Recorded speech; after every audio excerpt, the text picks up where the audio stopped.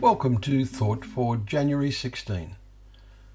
Our readings are taken from Genesis 28 and 29, Psalm 33, and Matthew chapter 18. And our thought is it is necessary that certain things are necessary in our lives, such as clothing to wear and food to eat.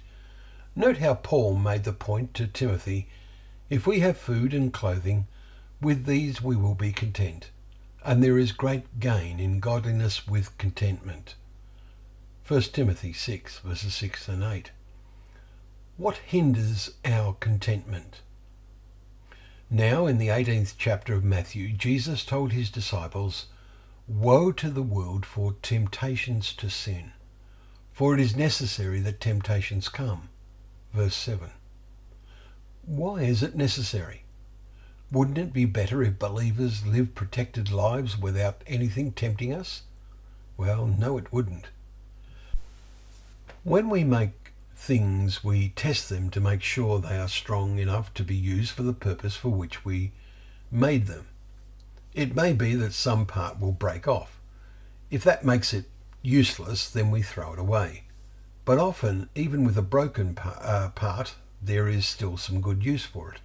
And that is the point behind Jesus' parable, that if your hand or your foot causes you to sin, cut it off and throw it away.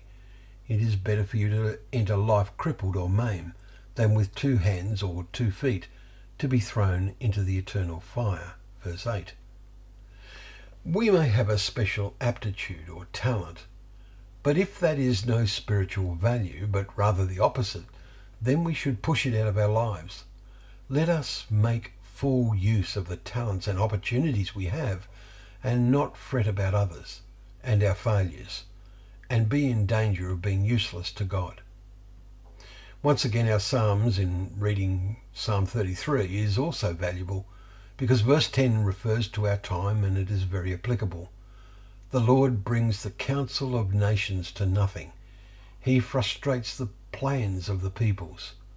And so efforts to achieve peace between nations and peoples are getting nowhere, as are efforts to take action to stop or at least minimize global warming and even COVID 19. God is not only ignored, most push out of their minds any thought as to his existence. Does that influence you? Note the great truth of verse 12. Blessed is the nation whose God is the Lord, the people whom he has chosen as his heritage. The words of Jesus we read and thought about illustrate the elements of behavior that really count. But it is necessary that chosen vessels are tested as to their worthiness. Are you passing the test? May we all be among those whom he chooses. May we help each other to pass the test. Thank you once again for joining us for Thought for the Day, where together we can open up the pages of God's Word, remembering that they are a lamp to our feet and a light to our path.